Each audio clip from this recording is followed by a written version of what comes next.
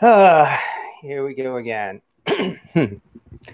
Hi there, and praise Bob, everyone. Welcome once again to my kitchen here live on YouTube on Saturday night, which demonstrates I have no life other than that I uh, enjoy doing these videos. And I'm very, very flattered that uh, some people have uh, shown up already to watch.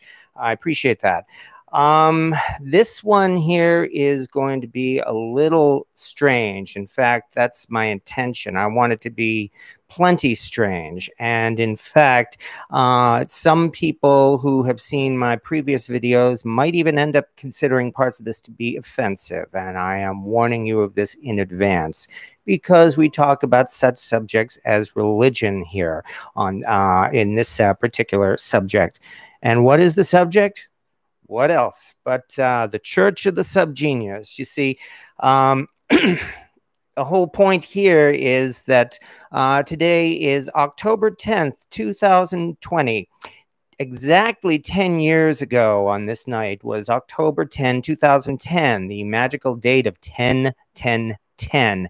And I was uh, fortunate enough then to attend the great New York Subgenius Devival that took place in uh, Manhattan uh, at a um, there. Um, again at about yeah as i said it was 10 years uh 10 years ago uh within uh not quite walking distance but pretty close to the world trade center and um that was uh really an interesting time um and here's where I guess I hope you don't mind me telling personal stories. Um, I know I've done so previously, and I and again I hope people don't find them too boring.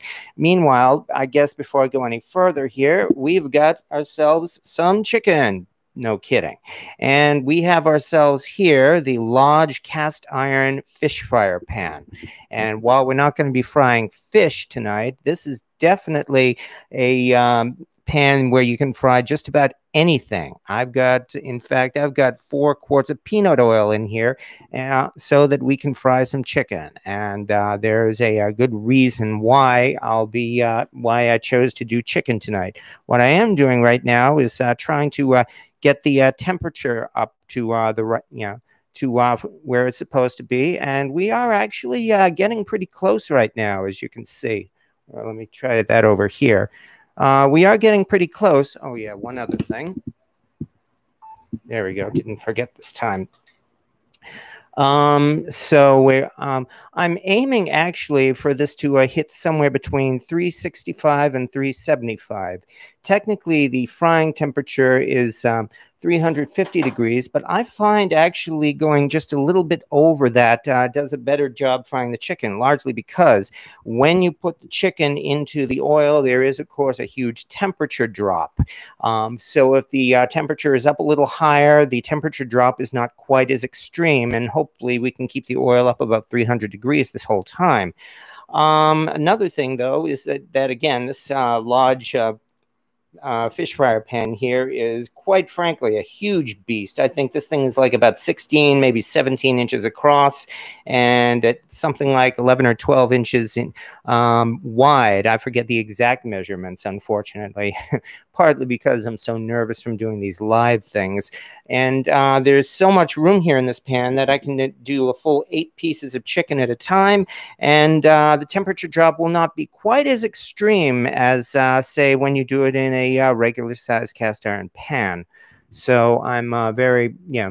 So yeah, I do indeed enjoy this uh, Lodge fish fryer. And uh, granted, I have to admit it's kind of expensive. I won't deny that. Lodge sells this on their website with a uh, hundred dollar price tag, but you may be able to uh, obtain it or something similar uh, at a uh, at a lower price.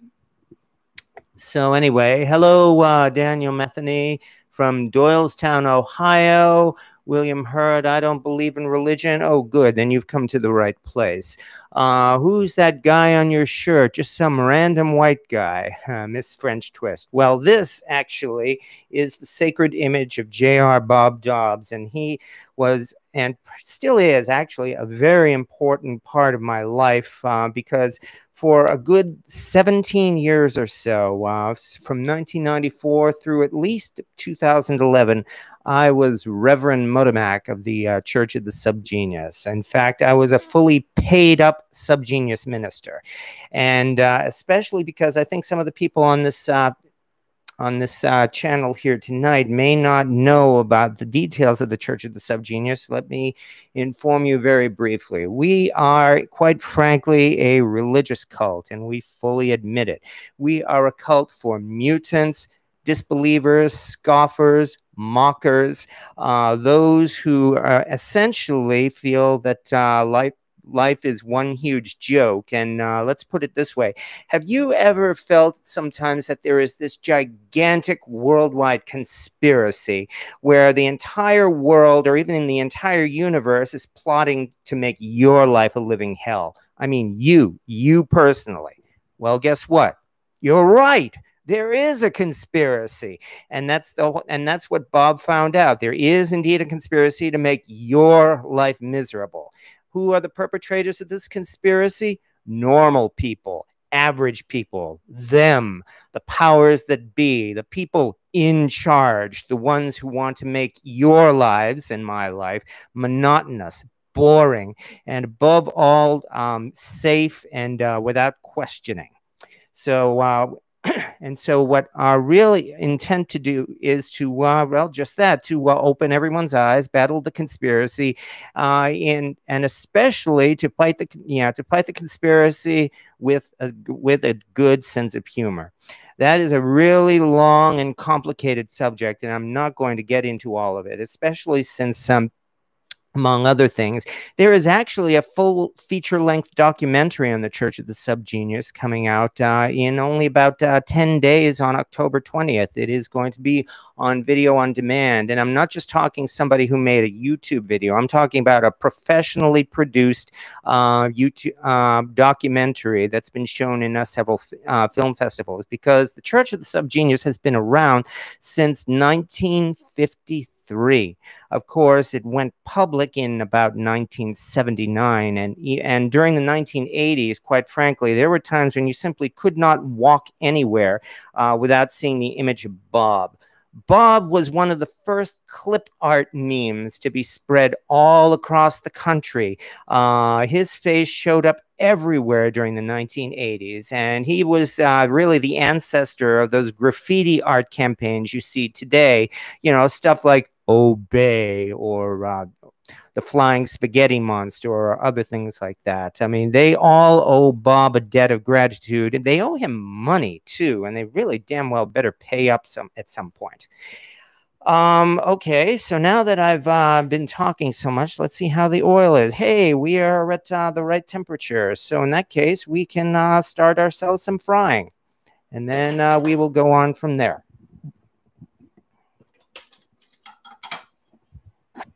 Yeah, because there's a story behind this chicken too.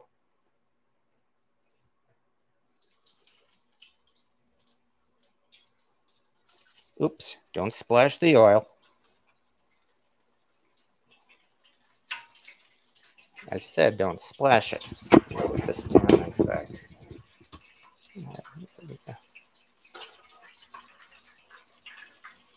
This, this is the tricky one.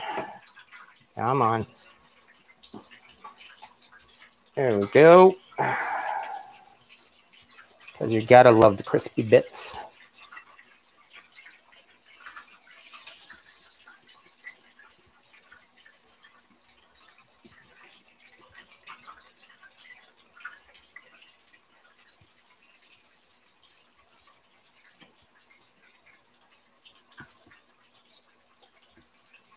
There we are.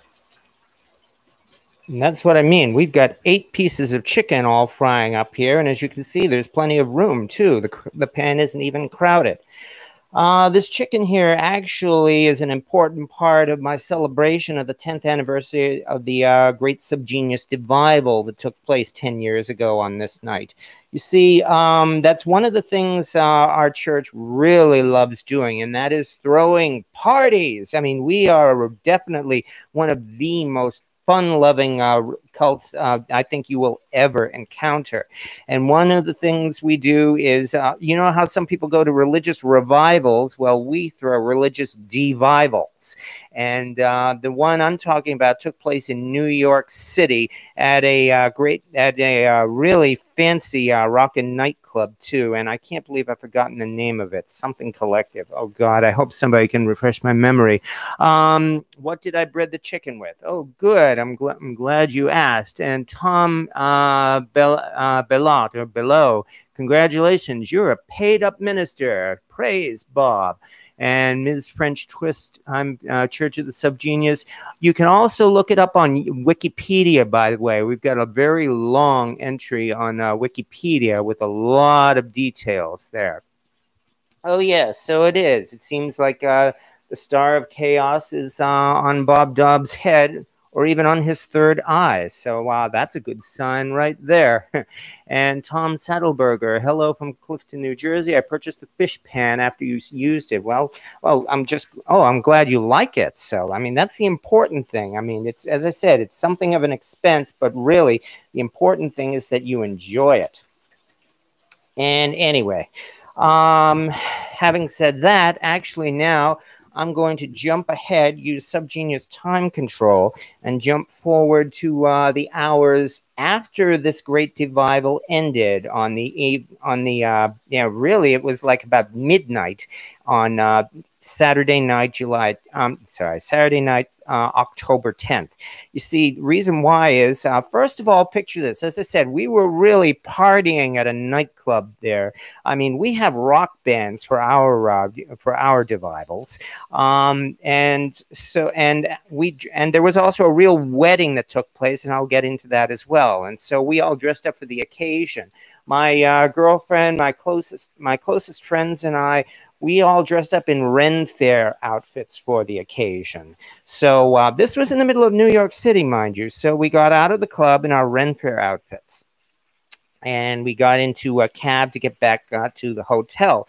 And here is um, on our way back to the hotel. I guess I should also say this was my my very first time actually visiting New York City. Uh, I've driven through, I had driven through New York City many times on various road trips, some for work, some personal, but this was the first time I had actually uh, had the opportunity to really visit the city, stay in a uh, hotel, and uh, and check some of the things out.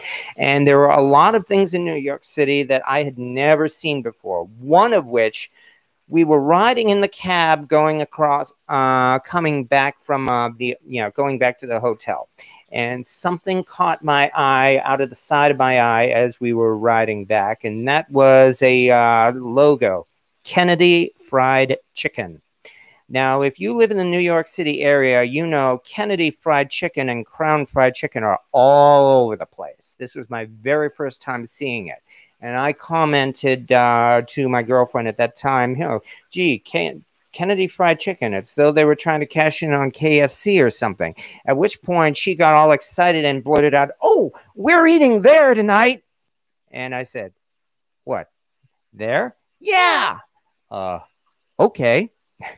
So we got back to the hotel, and then uh, we went out for uh, we went out for a cheap fried chicken. So we were walking the streets of New York City, dressed in Ren Fair garb, on a Saturday night at 1 a.m. to go to um, a uh, Kennedy Fried Chicken, where they serve their uh, chicken behind bulletproof glass, and the uh, customers look like there is a good reason why they served it up behind bulletproof glass to uh, get ourselves a nice box of chicken, fries, and and their uh, rolls. The fries were soggy, and uh, well, they were still warm. I will say that. Those so-called rolls were practically inedible. They were stale and ugh, made you cough but the chicken turned out to be pretty darn good. And that was my very first experience with cheap New York fried chicken. And I fell in love after that night. I mean, I enjoyed very much new, uh, Kennedy fried chicken, Crown fried chicken.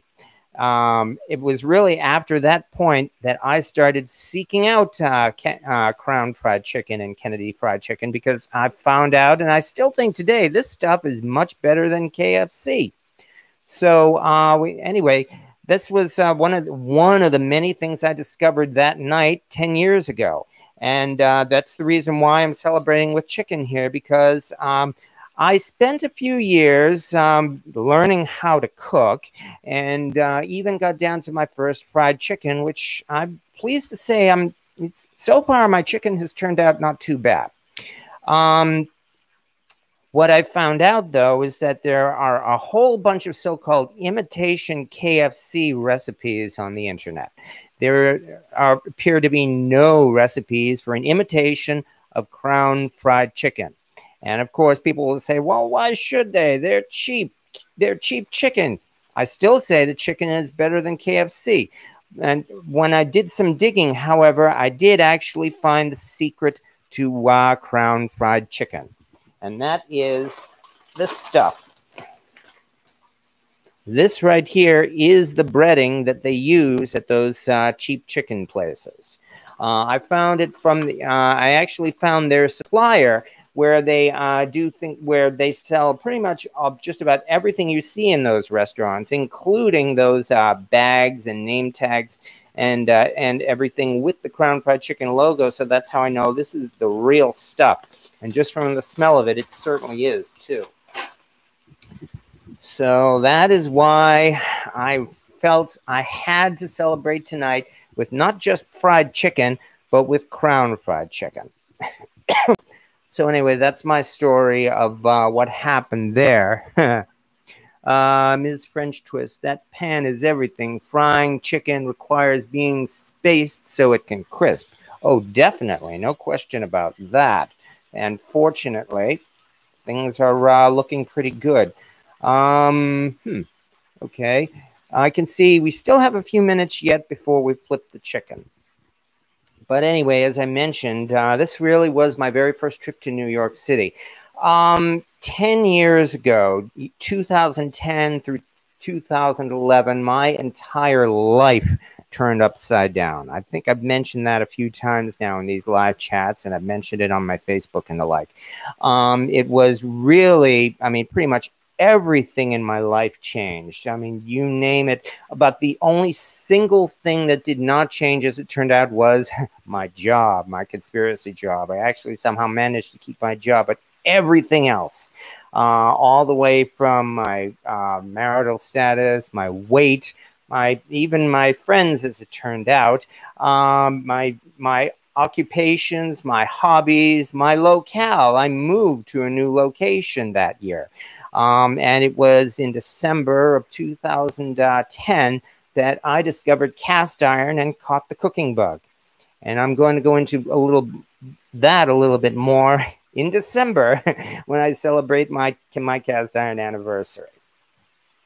But um, in October, meanwhile, things were really uh, hopping and going crazy for me at that time, and I had um, at this point, I was quite frankly uh, in a, I was dizzy with anticipation and excitement because my whole life had changed, and I had a, uh, and I had a, you know, some people who I was very close to introducing me to a whole bunch of new things, and this was the first time I was actually free to uh, go and celebrate my life with no boundaries. In my entire life, I was pretty much free to do anything I wanted. And so what I really wanted to do was join my join my closest friends in New York City and uh, and uh, throw a big party, which is what they did. In fact, this uh, Subgenius Devival, as I mentioned, in addition to uh, preaching by the by uh, Reverend Ivan Stang and ranters galore uh, and the rock bands, there was a genuine wedding. In fact, two of uh, my good friends from uh, X Day, from the X Day drills, and and yeah, you'll need to read up on that as well on the Subgenius website or the Wikipedia article. Uh, two uh, good friends were married that very night. Uh, Reverend Ivan Stang married the two of them uh, because he is not only a, a, cult leader, he is in fact a properly ordained minister and can can perform legal weddings, which is what happened there. The two persons there uh, are their names are actually pretty well known among the uh, subgenii, and that would be Reverend 808 and Reverend Gigglepuss. They were married there before our eyes 10 years ago, and tonight is their 10th anniversary. Congratulations to them. Of course, since it's a Saturday night and their 10th anniversary, um, yeah, I'm pretty sure they're celebrating their uh, anniversary, you know, a little more personal than maybe showing up here on a YouTube video. but I did send them a link to this and I told them that they can indeed watch uh, the video after this is uh, all done. Um, as I mentioned, we um, we prepared for the wedding, though, in a number of ways, including preparing some very special gifts for them. And here's where uh, my uh, good friends, um, one of whom I probably should not mention in subgenius circles because there, you know, have been some drama that I'm not going to uh, get into because I don't do that. But the other is uh, another friend of mine who I mentioned a number of times, Reverend Panic Evelyn Bedlam. And she is a wonderful artist. She is, I guess you could call her, um, no, her artist, her art is done in a comic book type of style. And she has produced several comic books. But she is more of a uh, portrait artist, and she produced this wonderful, wonderful pop art portrait of uh, 808 and Gigglepuss uh, that we were able to present to them as a present at the wedding. We also presented to them a uh, pair of uh, bondage collars, literally two collars joined by an unbreakable chain, which they uh, accepted gladly and wore for the rest of the night. Um, I'm not sure if they still have it. That's really their business. But uh, yeah, so we really enjoyed ourselves preparing some uh, great some great gifts there. Um, let me see now. Congratulations and kudos to the couple. Well, again, thank you very much. Uh, Honey Badger Survival learned a lot from your wealth of information. Well, again, thank you very much. Uh, I used to go to Ren festivals. I love Glen Rose, Texas. Oh, yes, the Stang Ranch is at Glen Rose. And I know there's another friend of mine as well uh, who lives in Glen Rose. Uh, I'm not sure what her subgenius name is right at this moment, so I'm not going to uh, repeat her name. Um, Okay, despite the fact that I'm uh, rambling on and on and on, I mean, everybody, please uh, feel free to comment. I mean, you can you can still really pretty much comment on uh, whatever you feel about, whether you know whether any questions as well as always about cast iron, and please feel free to answer the, any of those questions too. I mean, this is uh, this is a uh, live chat, and I'm not uh, trying to dominate the chat. I mean, please feel free to pipe in. Um, and besides, there's a lot more yet about the Church of the Subgenius. uh, the chicken looks good and crispy. Well, I hope we're getting to the point now where I think we may be able to uh, flip this batch over. So,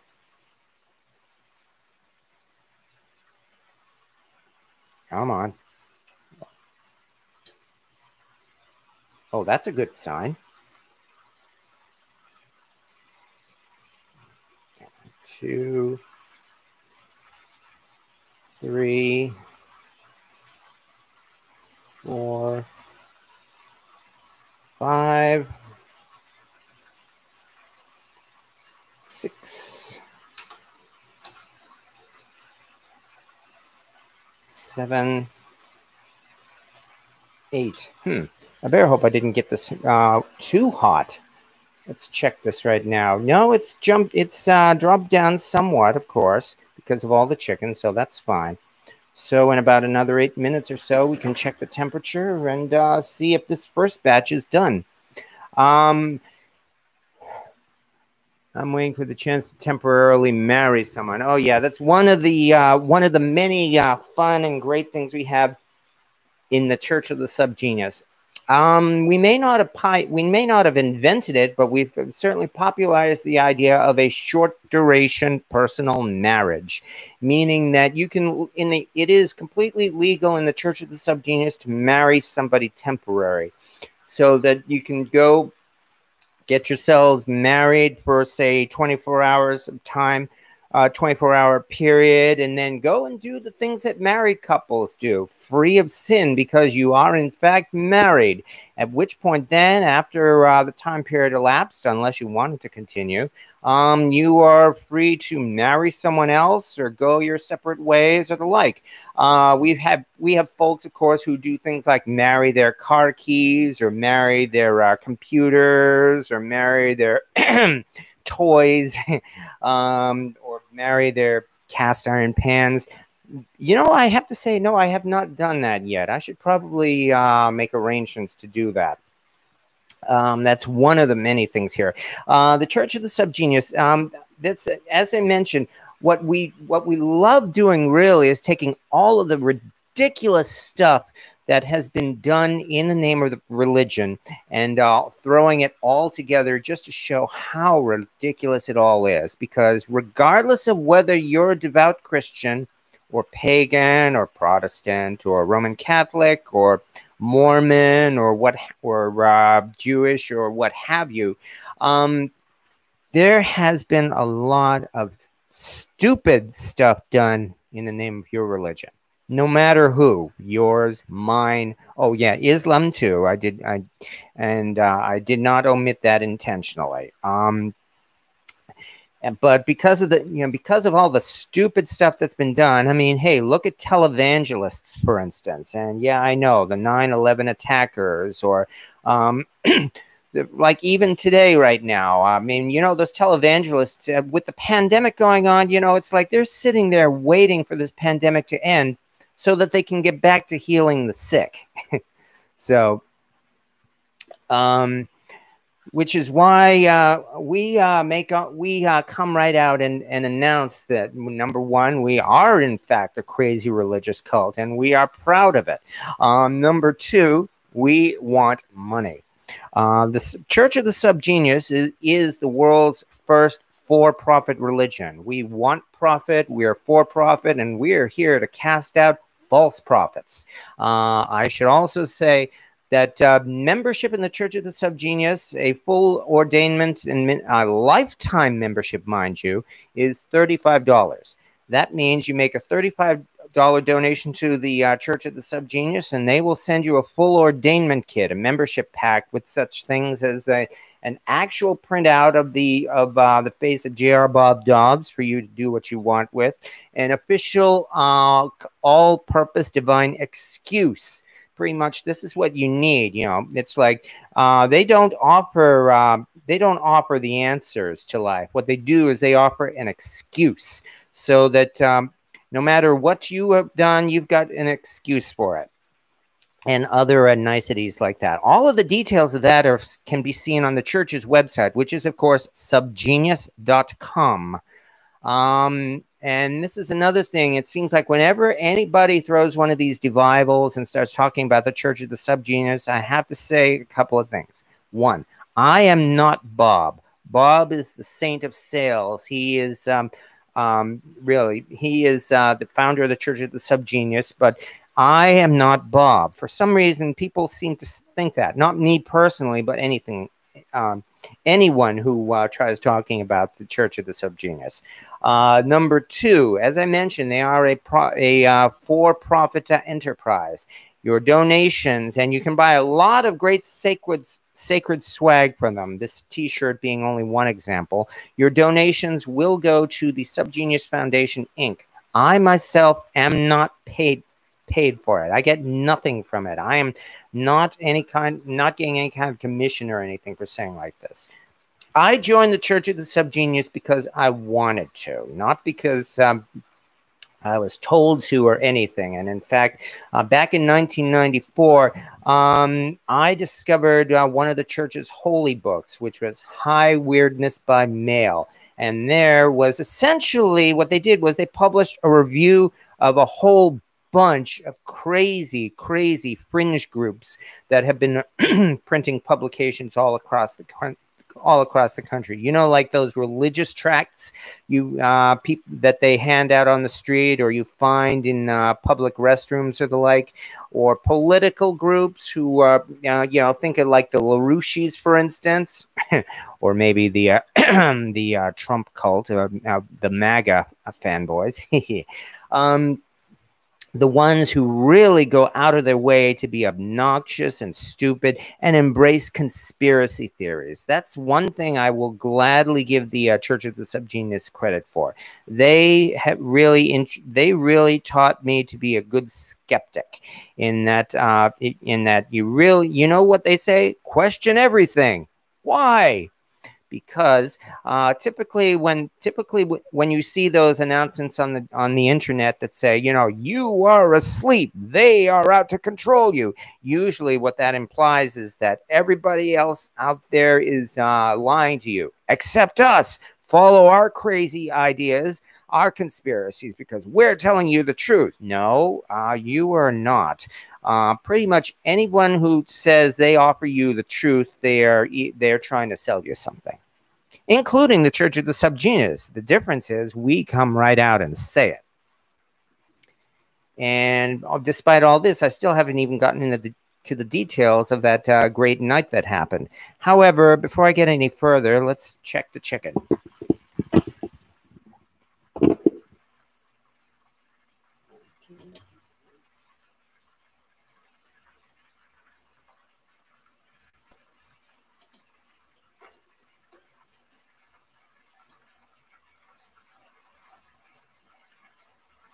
Yeah. Huh.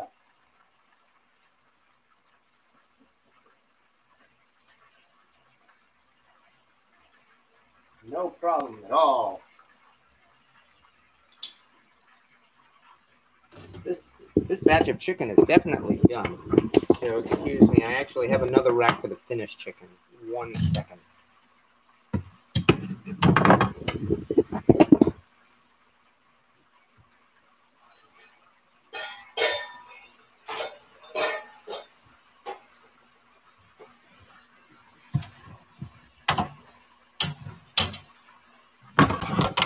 And we are off to a good start here.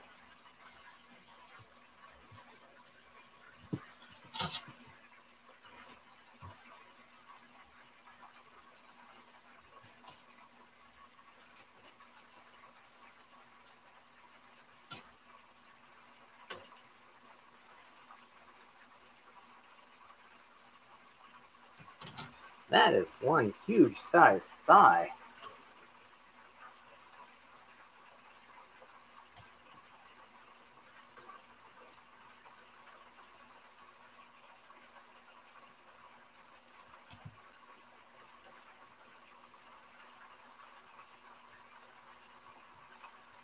Looks like I miscounted. We not only have we don't have eight pieces, we have nine pieces. And there's still plenty of room in there too. Cool.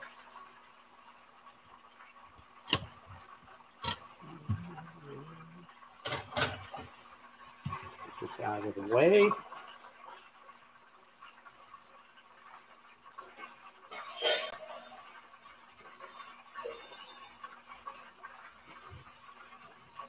better double check this oil again.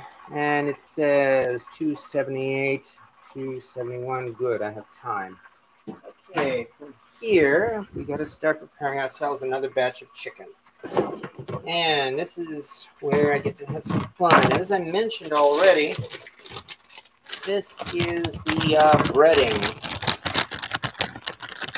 that they uh, use at those pan fried chicken restaurants. It's completely self-contained. I suppose you could mix it with flour, but you don't have to.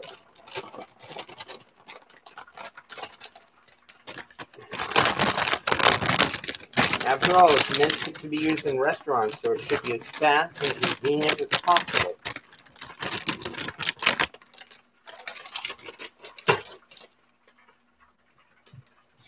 The instructions are uh, not rocket science either. You mix milk or water or buttermilk with the breading dredge the chicken in the in the uh, batter. Then you then you dredge the chicken again in the dry, and you fry it.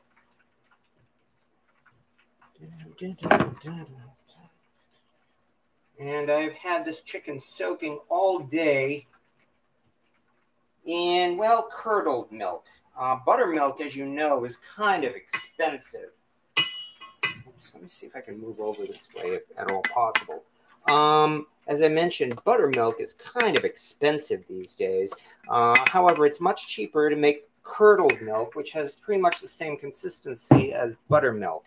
Uh, what you do is you simply take a uh, uh, half gallon of milk, mix in half a half a gallon of vinegar, and then you just let it sit for about 20 minutes or so, and the milk will curdle, and it has the uh, consistency of buttermilk. And I find it just fine as a buttermilk substitute for frying, especially here, for instance.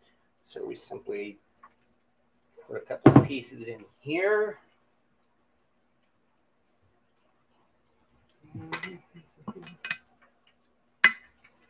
And believe I'll be getting a life membership and go looking into that? Well, please do. Yes, as I mentioned, they do have a Wikipedia page which tries to be neutral. And there is the Subgenius website as well, subgenius.com, which definitely does not try to be neutral. Nor why should they? After all, the conspiracy is not fair. Why should we be? Move this out of the way.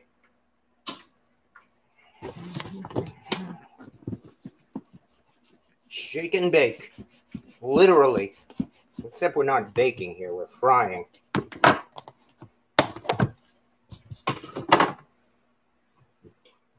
Anyway, but yes, preparing fried chicken does take some effort because you know we've got to get all this stuff out. We have to get out the, uh, we have to prepare the uh, chicken seasoning. We have to prepare the oil. We have to fry it, and then of course we have to be, try to make as little of a mess as possible. But is it all worth it? Well, you well you know the answer to that. Who doesn't like fried chicken? There's three pieces.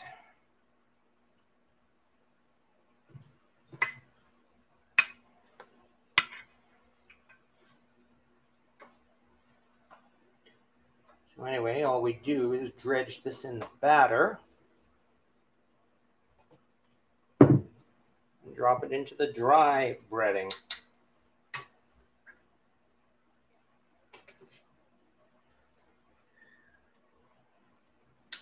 Come on. Damn it. Let's try this again. There we go. On top of everything else, uh, that as well. It's much cheaper to make your own chicken too, of course. Because, I mean, when you consider how much these days does a 10 piece bucket of chicken cost you, just about anywhere $15, $20. Um, I will say it probably cost me like about maybe $21 for this whole setup here. And I'm getting easily twice as much chicken and more than you can get at, at uh, any uh, fried chicken place. That, um, that gallon of peanut oil, for instance, cost about $11. Um, uh, these the, um, for only about uh, maybe another ten dollars or so. I got um, 10, 10, yeah, that's right, ten huge leg quarters, and I mean big. And each leg quarter, of course, you can cut into three pieces. So we're talking 30 pieces of chicken. Although, to be fair, I cut the uh, drumsticks and the thighs uh, off of the leg quarters. The third piece, which is like the backbone and all of the bony stuff, stuck that in all in the freezer because that, of course, is going to be stocked for making stews and the like. Um, I apologize. I know I've got my back turned right now, so I, I'll check the comments in just a second.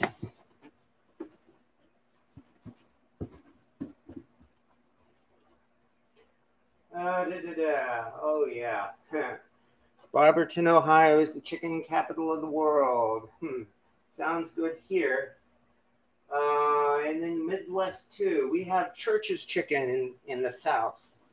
And the Midwest also. Oh, yeah, no. Crown fried chicken is certainly not the only one.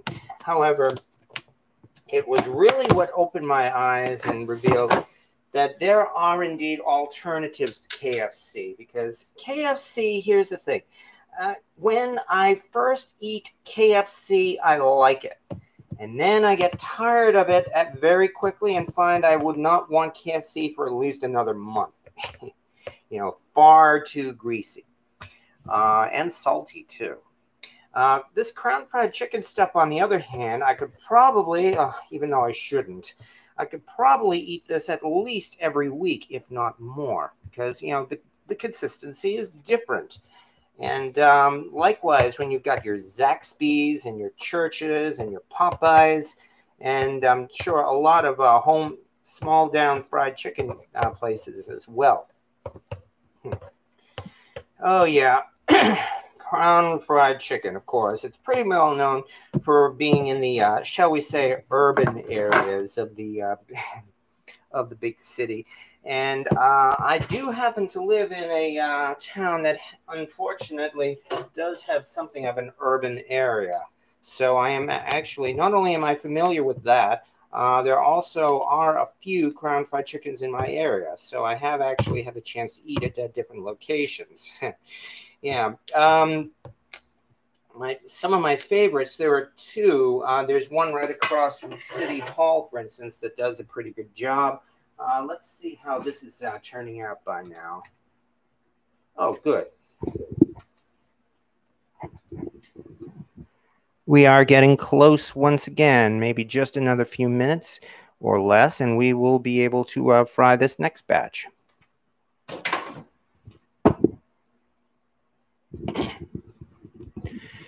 Anyway, I used to live in Boston. I still do live in, in the Boston area, so I know how that works. Devore's Hippocaine Garden has overgrade, overtaken Belgrade Gardens. Amazon has the Texas breading. Yes, it does. In fact, I got that Texas breading from Amazon. and yeah, I do have to admit, it is a little bit expensive. I mean, I'm doing this really because this is a special occasion for me, and so I splurged on it. There's no reason, of course, why you can't simply make your own chicken breading. You know how easy that is. I mean, technically, it could be just nothing more than uh, salt, pepper, garlic powder, paprika, and flour. Um, and again, there are many other um, easy fried chicken breading recipes on the internet. So uh, go and experiment. I mean, as you can see, it's really not that hard as long as you have the right tools for it, which again is a nice plug for cast iron. And what will you do with all of that chicken? Yeah, that's actually a tough question. I only live with my roommate. Um, I guess I'm going to have to give a lot of this chicken to uh, my friends and family. Like, for instance, you know, my BFF, who uh, is the mother of my godson, who I've mentioned a few times. I'm definitely going to have to bring her some chicken, for instance. I'm sure we I'm sure we will find a use for all of this fried chicken. you know how hard it is to get rid of fried chicken. um okay, I've talked a little bit about the Church of the Subgenius. As I mentioned, I traveled to New York City uh, with my uh, with Panic and with uh, my girlfriend and I experienced a lot of things for the first time. Uh, and uh, yeah, I definitely developed a love for New York City and that for that reason. Crown fried chicken being one of them. I had my very first genuine, um, real hardcore um, uh, Asian noodles there in New York City, udon noodles, um, much, much better than uh, the ramen noodle stuff, let me assure you. so, yeah, they definitely helped to open my eyes there. Um, uh, I had my first lox bagel, my gen- my first genuine New York lox bagel uh, there the next morning. So uh, yeah, as far as food goes, I learned I discovered a lot of things in New York City. Uh, I have returned to the city for visits a few times. Each time has indeed been an adventure. um, I can I could go over it, but really it's I'm it's not really what I came here to talk about. As I mentioned already, this really has to do with saying how 10 years ago was this was such an exciting time, and this and this was why I had to uh, make um, I had to make fried chicken here. Um, let's see how this chicken is. Let's see how this oil is. Um, we are just about there. We're just hitting the 350 mark. Give me about one more minute or so.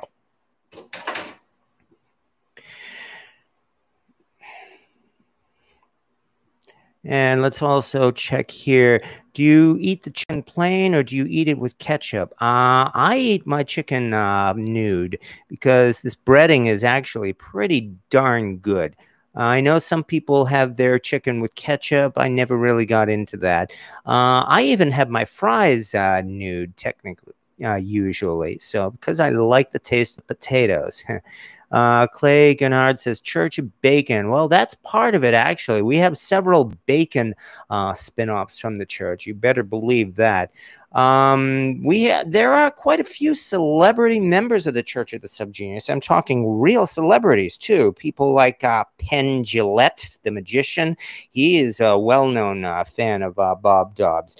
Uh, much of the church's viral popularity began because Robert Crumb, the artist, uh, discovered uh, the very earliest pamphlets from the church published one of them in uh, one of his uh, many comic magazines, and that really helped uh, spur on the popularity of the uh, of the church. Uh, David Byrne, in fact, is also a member. He uh, did he did this documentary in the 1980s called True Stories. He did film a piece on the Church of the Subgenius, and then it was put on the cutting room floor, so it never made it made it into there. But yes, we've been around. Um, Reverend Stang has uh, hobnobbed with a number of, I guess you could call them underground rock stars. You know, people like Robert Anton Wilson, for instance. He was uh, a regular, uh, regular uh, with them. Uh, Reverend Stang is also one of the managers as well of the Starwood Festival, which is a really one of the largest pagan festivals in the country. It takes place in Ohio uh, every summer except this one, you know, because of what happened. Um, and as I mentioned, it was Reverend Stang really who helped open my eyes to things like conspiracy theories, which has, uh, has indeed been uh, really an important part as I have seen that there is, quite frankly, a lot of stupidity in the world around me. And even if I can't do very much about it, I really am glad to be able to laugh at it. And at this point, I think we're ready to put in the chicken for batch number two.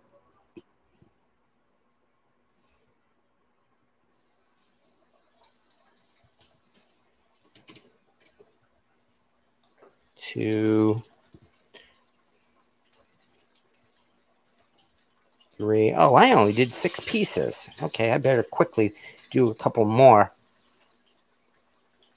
Four, five, six. Now I better quickly uh, throw a couple more in there.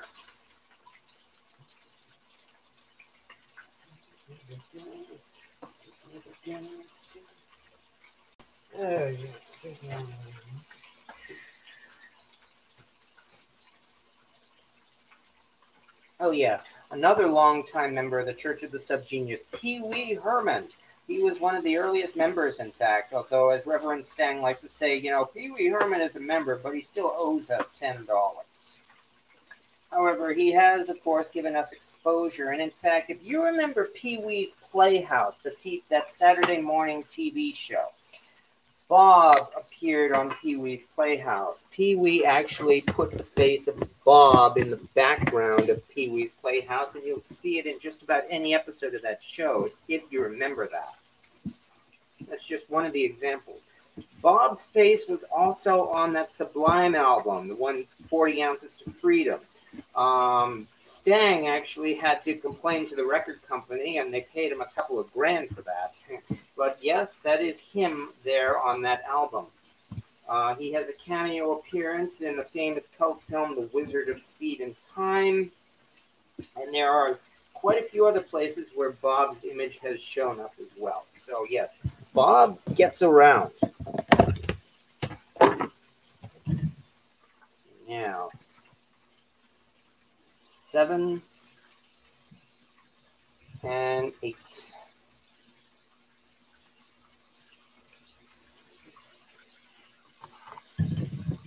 Okay. Hey, hi everyone. Ray Mulan. Well, hi. Nice to see you. Uh, Cookie G, I listen to Penn Jillette's podcast all the time. I'm certain he's mentioned us R. Crumb, Underground Comics. Yes, that R. Crumb. Still have some. He lives in France, or did he pass? Uh, he lives in France, and as far as I know, he's still alive. Um, if even though it is now, oh man, 30 years old. if you haven't seen that wonderful and really, really strange documentary, Crumb, on artist R. Crumb, you definitely need to give that a try. That is really, I mean, that will make your jaw drop. I used to watch Pee Wee's Playhouse on YouTube just because you know you can't see it anywhere else. Well, yeah, and besides, everything's on YouTube these days, and I mean everything. Hmm. hmm. Oh, so far so good. And this is going to help keep up the seasoning in this cast iron as well. I mean, really, if you want to uh, keep your cast iron uh, fresh, deep fry something in it. And, you, and you, there are really few better ways to uh, keep your uh, cast iron up just that uh, well seasoned. So, where was I? we traveled to New York City, as I mentioned. Um, the I in the link, or rather in the uh, description of this video. Wow, we're at 50 minutes already. Nice. in the description of this video, I uh, mentioned um, I included a link to Reverend Stang's uh, description of the New York Devival, for instance. He only mentioned one small part of it, but he got to hobnob with all of the stars, the organizers, the folks in uh, New York City who went, who organized it, the, like the GFY clench, for instance. And yeah, GFY is exactly what you think it means. Profanity is uh, really an important part of this church. YouTube, on the other hand, does not like profanity, which is why I am not going to indulge in it here. Um, as I mentioned, we stayed at that hotel. We dressed up in Ren Fair outfits. And yeah, it was at about, really at about this time of night, between 9 and 10 o'clock, we, we uh, got in the cab and uh, headed out to the uh, Great Devival, which, thank goodness, had a packed house. Uh, that really, that was pretty much a miracle, and that's why it's considered one of the great subgenius devivals of history. In that they sold the place out. And uh, really, for something as obscure as the Church of the Subgenius, that was pretty good. We had uh, some really great uh, music too. We had DJ Two Beans. He loves his dubstep. We had uh, Fat Nandy, a, a uh, performance artist who's really, it's hard to hard to describe. Uh, let's just say that she climaxes her number by literally sticking her entire fist, her entire fist, into her mouth and singing the Star Spangled Banner with her fist in, in, her mouth. That's only one small part of it. Then there's her husband, Tommy Amoeba, who is uh, literally eaten by worms on stage. Oh, yeah, it gets pretty darn strange, and I am not even uh, scratching the surface of this. So that's why, as I said, in some ways, you, uh, if you're not careful, you may consider this to be offensive. but uh, yeah, from there, then from there, as I mentioned, our uh, dear friends Reverend uh, Gigglepuss and Reverend 808, they actually uh, came to this especially to get married. Um, they have been regulars and good friends at the regular X Day drills that take place every year. That's that happens on the weekend of July 5th as we wait for the uh, as we wait for the excess flying saucers to come and destroy the world. Okay, now here's one of the confessions, and because this is one of the most important part, parts of the Church of the Subgenius, and that is X Day.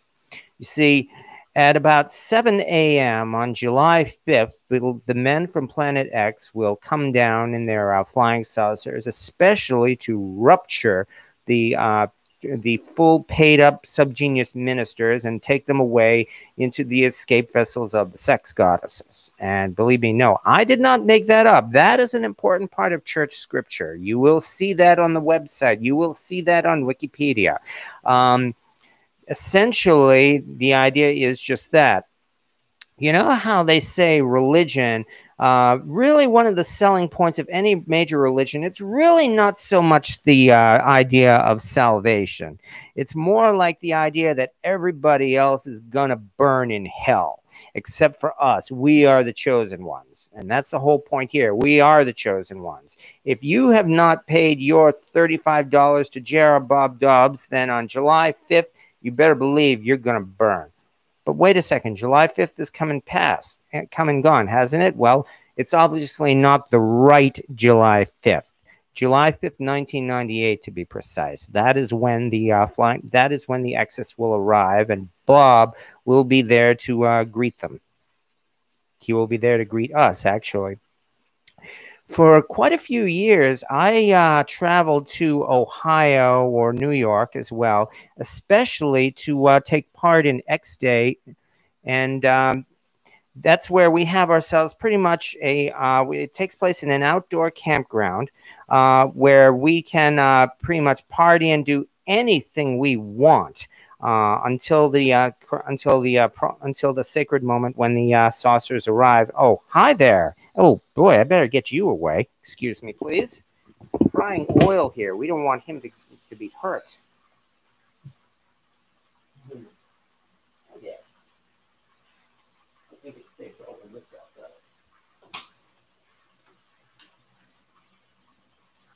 Okay. Wow. he just crawled up on my leg. Not bad. He's only uh, lived here for, uh, well, as a matter of fact, this is his one month anniversary, sort of. After one week of, uh, you know, getting, of uh, actually uh, keeping him in the bedroom, one month ago on September 10th, in fact, we opened up the bedroom and let the kittens uh, prowl through the whole house. And he has really gotten himself well, he's really become quite the troublemaker. In fact, from day one, we named him Trouble for that reason, because he is trouble with a capital T. How avant garde? What part of Ohio? Well, it takes place at Wisteria, which is an outdoor campground in Pomeroy, Ohio. Is that a bobcat? yeah. yeah. oh, if only. Um, I'm not sure, to be honest. I mean, I don't think he even has the mark of a tabby. So, but he's a beautiful black short hair, very sleek and very svelte. Hmm. Hmm. Oh, this chicken is turning out pretty good. Um, as I said, if anybody else, uh, feel free to uh, comment in as well. I mean, you know, you can uh, pretty much ask questions if you like about Bob, about um, cast iron. As always, I mean, as you know, I've been doing the, all of these uh, live chats here. Hold on, I better make sure he doesn't try. He doesn't pull out my Ethernet cord. Okay, no, he's doing good.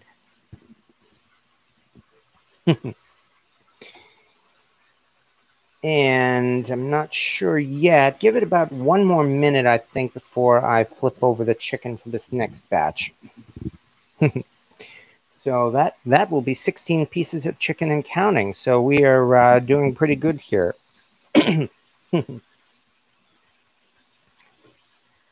oh, great. Now he is moving the camera. How nice. Excuse me once again. I'm very sorry for the interruption.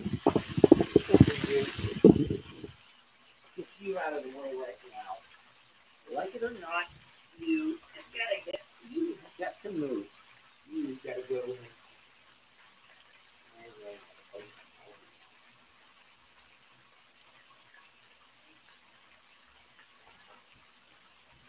Again, my apologies for the interruption.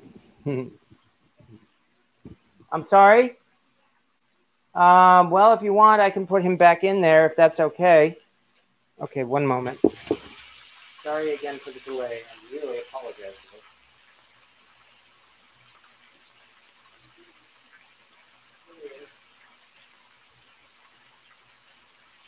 Thank you very much for looking at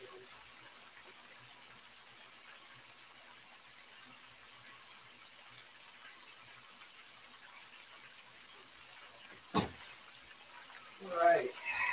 Finally. hmm.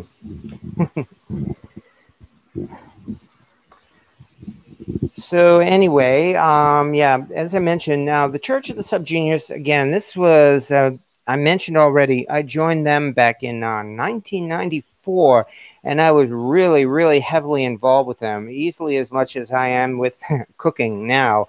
Um, one of the things that happened in 2010, as I mentioned, was that I kind of caught the cooking bug. Well, not kind of, I did catch the cooking bug. And uh, due to uh, other, um, if, oops, sorry, due to other events that uh, happened a little later in 2011, I ended up leaving the Church of the Subgenius uh, for several years, in fact. But I'm glad to say that at least I've got one good thing to say about 2020, and that's when I got myself reacquainted with uh, a lot of good friends and uh, people who I've really missed. So I'm very, very glad to be able to uh, do this. And I do hope a number of them are watching or will be watching at some point and commenting on the uh, on the uh, video. Looking forward to it. Oh dear, the coating seems to be coming off. Oh well, so it goes. It'll still be some good fried chicken.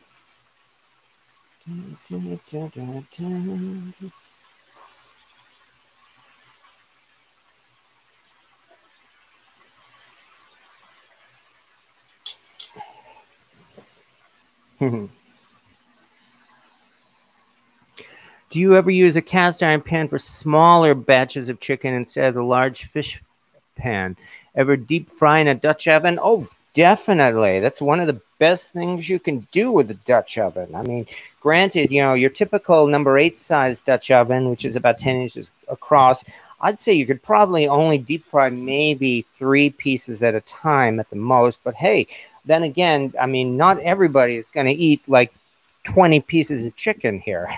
so, yes, I mean, a Dutch oven is great for many things cooking, uh, well, obviously cooking. I meant baking, um, roasting, braising, and deep frying. I very highly recommend it. You don't want, um, which is why I've said before, really, um, you know, they say every kitchen needs a uh, three things, and that would be a good chef's knife, a stock pot for boiling water, and a cast iron skillet.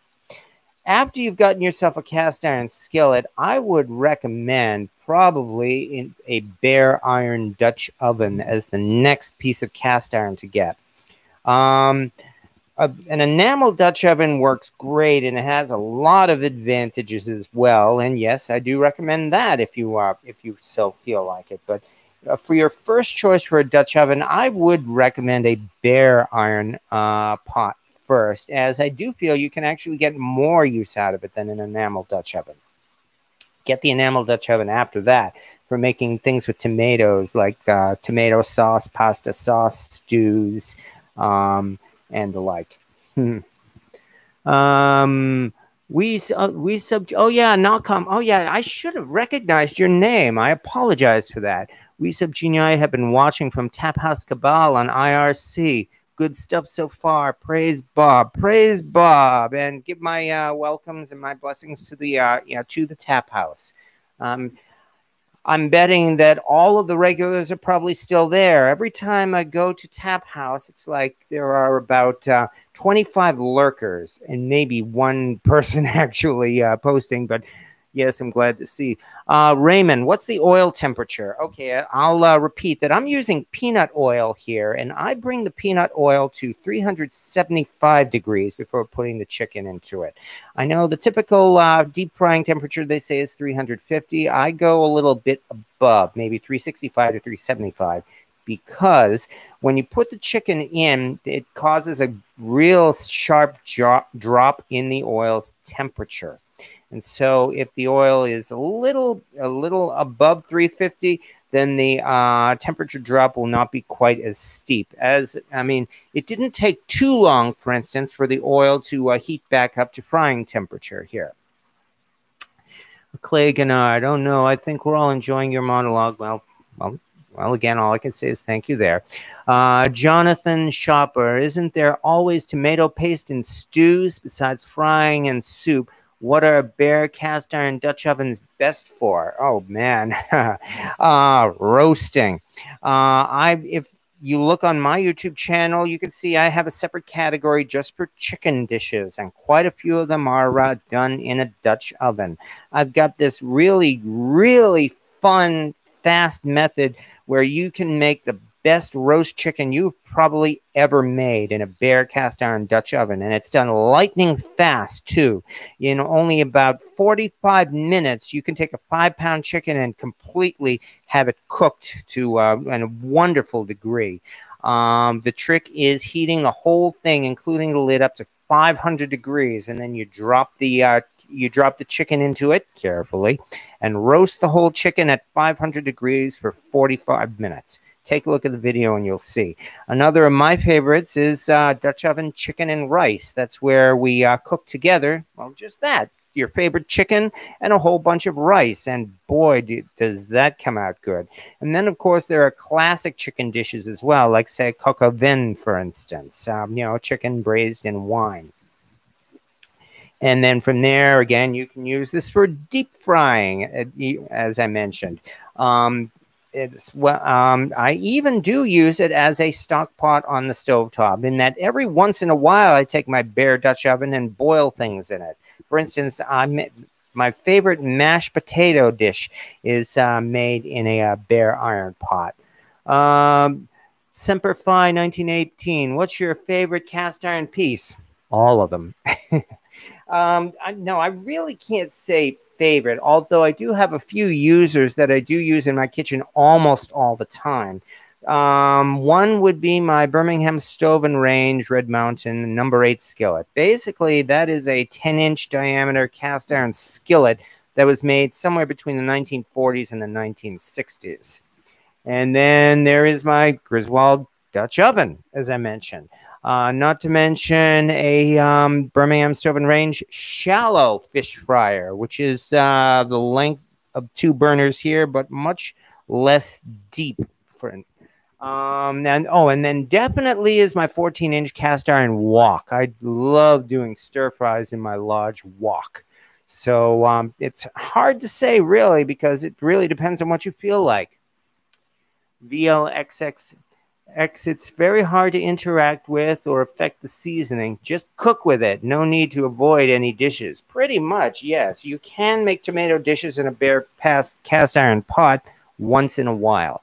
Tomatoes will affect the seasoning, but if you have a well seasoned cast iron pot, that's not a problem. You can, you know, you can just uh, cook regular dishes after that, and uh, then uh, that will help build up the seasoning there. Do you use the trivet in the Dutch oven? Once in a while, depending on what what you're making.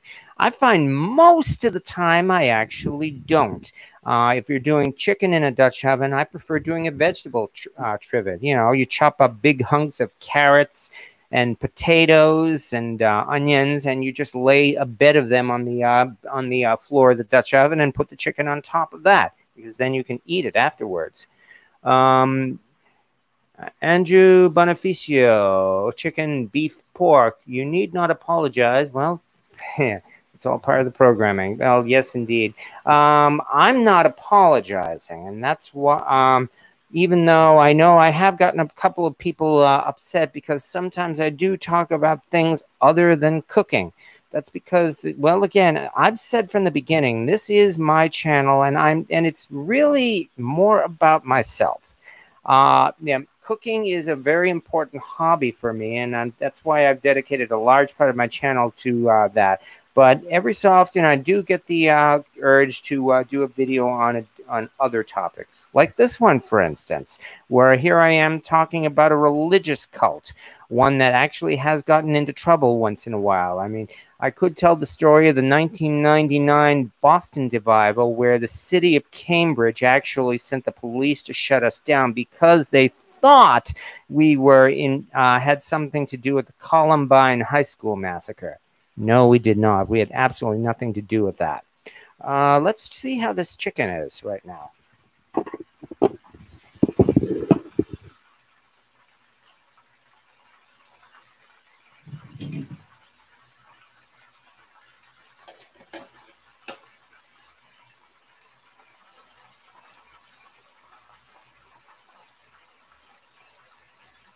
Almost, not quite.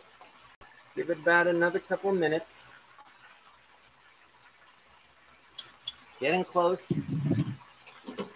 Gotta have patience. as always when cooking, that's the other thing. Patience is very, very important. yes, I make arroz con, uh, con pollo in my cast iron pan, not Dutch oven yet, but it always strips away some seasoning. A quick scorch in the oven with some canola oil, brings it right back. Oh, yes. Yes, that's um, Dutch oven uh, chicken and rice. Definitely. Mm.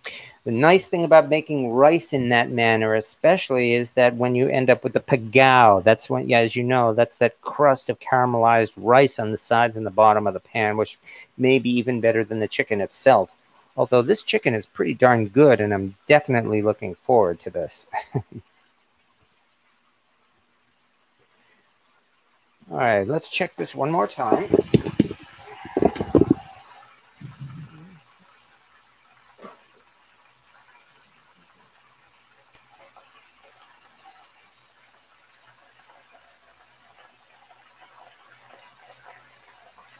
Wow. Okay. Yeah, I think we are. I think we're done here.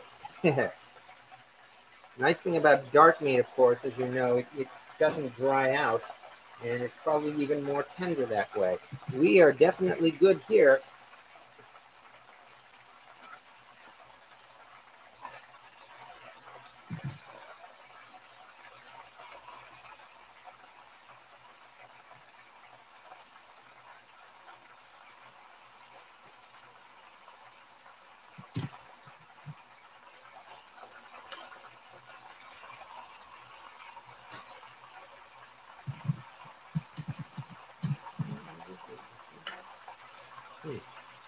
Like a couple of extra crisps too. That's a bonus, if anything.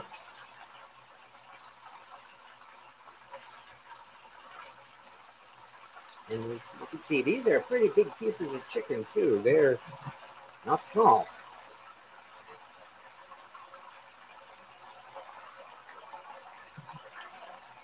And we're still not done yet. Got one last batch to go. Um, I mean, of course, battery case on this came off.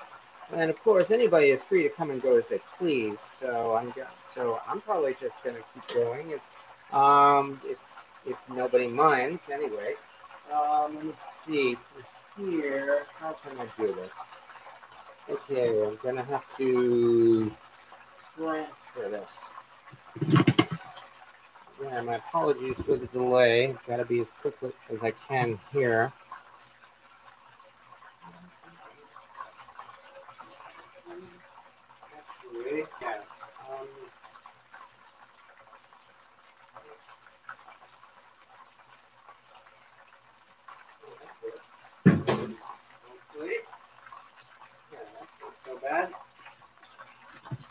All right, now let me quickly uh, bring up another rack.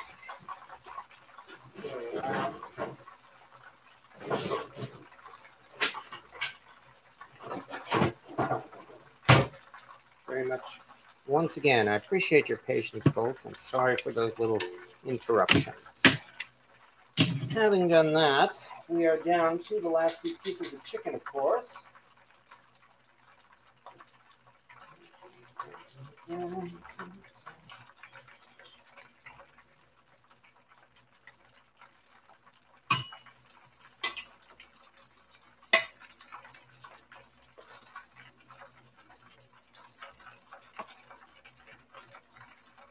dredge this in the batter.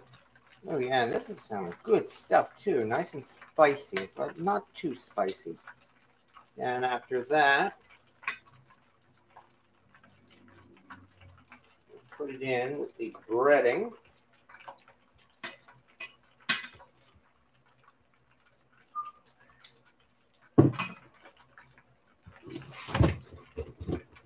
And we shake it up.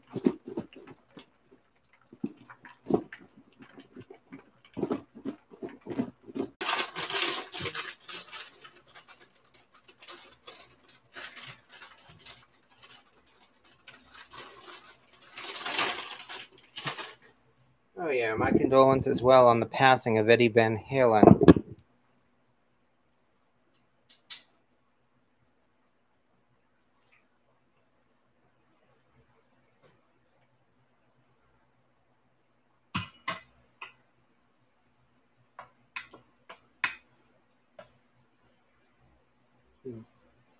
I like those racks. Never seen one with a stand like that. Um, those racks, I think I just got them at a uh, at a Chinese market. Those I love browsing in those places because they have all of these kind of uh, kitchen gadgets that well you never knew you needed, and that's one of them. So yeah, very very useful.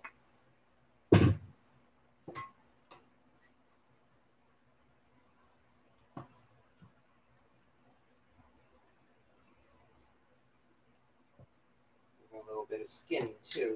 Hmm. Wow, I think I actually have more chicken here than I planned. Oh well, that's not so bad. Gee, as if there's such a thing as too much chicken. Though, as I mentioned, I am going to have to give this away to like friends and family and the like.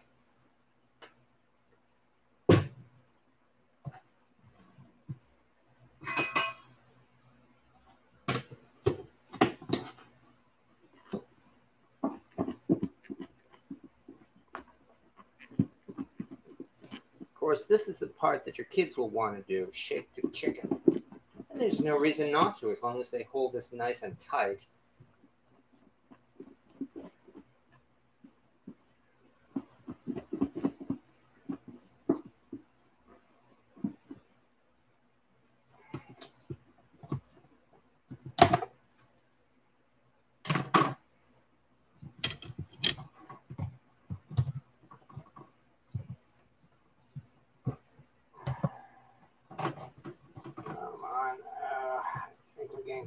point here where this threading might not be sticking as well. Well, just do what we can, that's all. Come on. It'll all work out. Pour in just a wee bit more.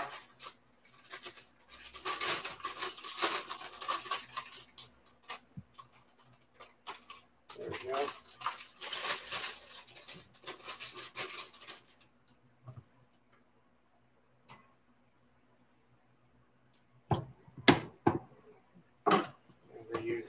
tongues. My bad. Meanwhile, Colonel Ingus. I have a 10 inch Wagner ware I inherited from my mother. It has the silver fake chrome finish. Any way to date that? And is that a common skillet? Um, those chrome plated ones or nickel plated, either way, um, I cannot say they're rare. They're actually, um, as far as antiques go, they're probably not too hard to find. Um, finding one in pristine condition, on the other hand, is very difficult because, as you know, that chrome or that nickel wore off pretty fast, and then it was um, all you had left. Then was really a little bit of the um, a little bit of the chrome and a whole bunch of uh, bare iron underneath, and that did not look very uh, appealing, regrettably. It still cooks just great, which I'm sure you do. Uh, as for dating it, it would be the same as the uh, as any other uh, Wagner ware, in that you can tell whether or not it has a uh, bottom with a heat ring or not, or if it uh, has, or if it actually says something like "Made in USA." But I'm betting it doesn't. I think they stopped doing those chrome-plated ones probably by the 1940s at the very latest. And, oh good, I think we're at about the last piece of chicken here. No, last two pieces of chicken.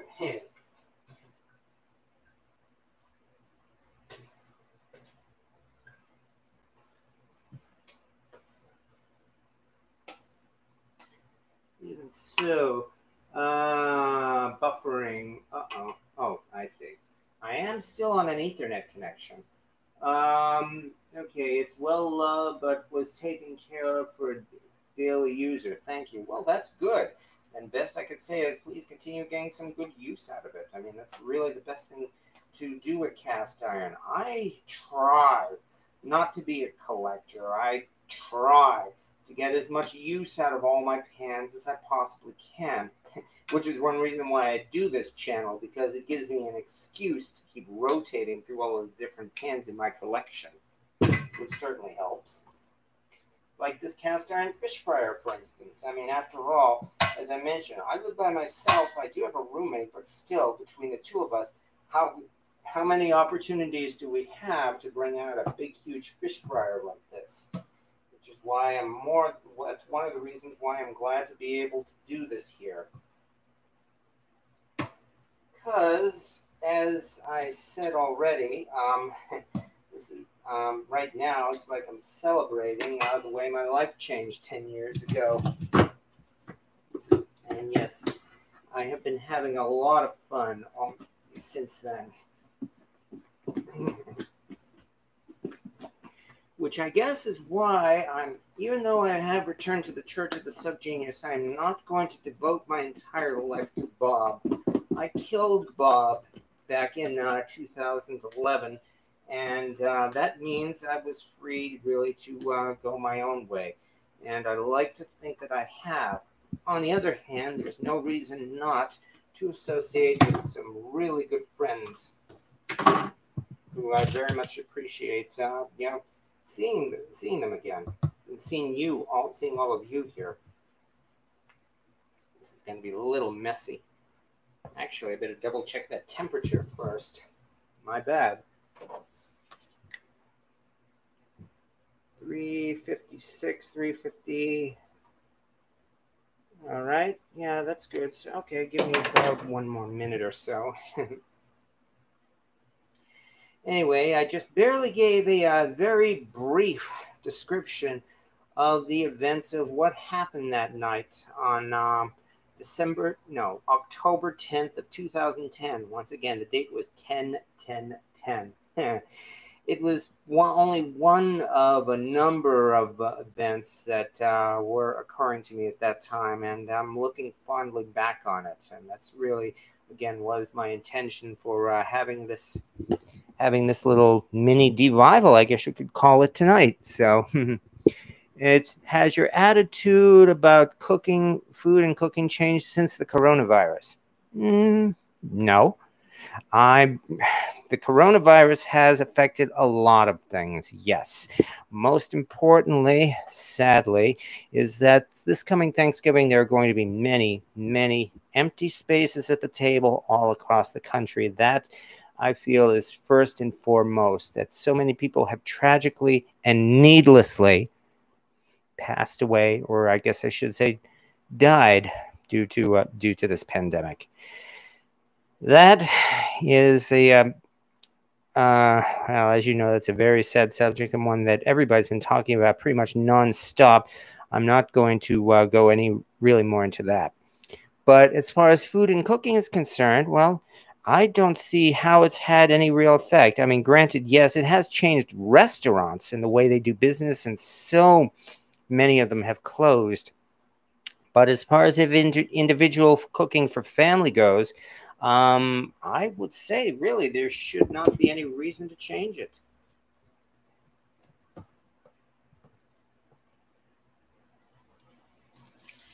There we go.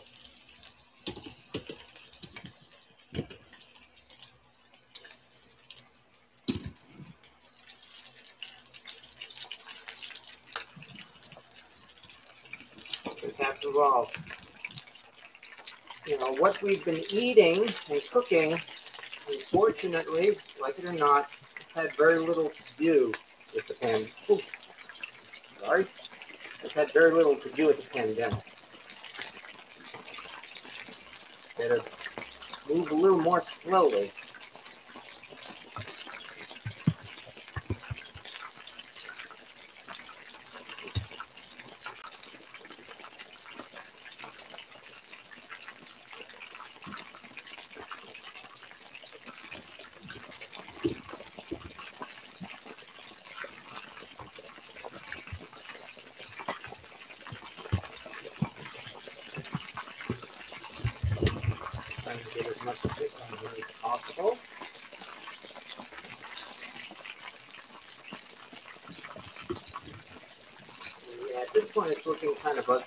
However, this is the last batch of chicken, so I'd say we are getting good at this point.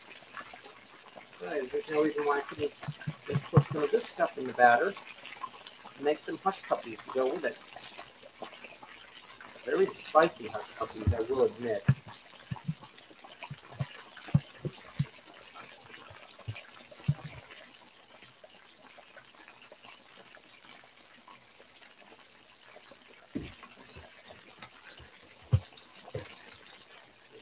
Why waste this stuff? Besides the fact that it's a bit expensive, as those who looked on Amazon saw, it's also, as I mentioned, very spicy and, yeah, very tasty too. A little bit of that carefully.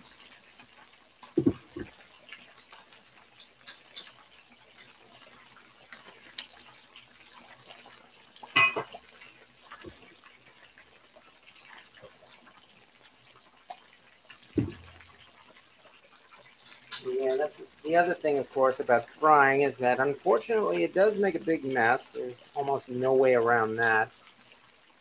But fortunately, I'm not going to do a YouTube live of cleaning up after this. that's my business. Uh, Glock J, would you recommend soaking a vintage pan in vinegar to remove the surface rust? Yes, you can do that uh, briefly here's where I actually disagree with the advice of the cast iron cooking group in that for safety reasons, I guess, really safety of the pan, that is, they often recommend soaking a pan in vinegar for only about 30 minutes at a time. I don't think it's that bad. Uh, I could probably go with, like, say, an overnight soak in vinegar at least. And that would do a great job of uh, removing surface rust. You might even want to just take your pan to the sink and scrub it, in fact. Um, First step would be definitely to strip off the seasoning, though. I'm, my favorite method is using a lye tank. A lot of people use electrolysis or even the oven cleaner in the bag.